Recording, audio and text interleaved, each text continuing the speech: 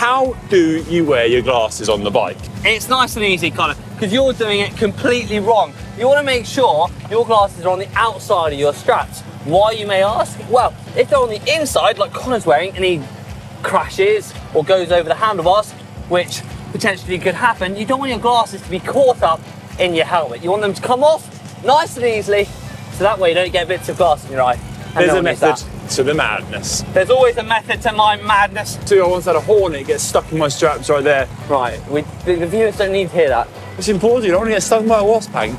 Gosh, one of these days. Seriously, I need a new bloody presenter. Hank. Where's the man on when you need us?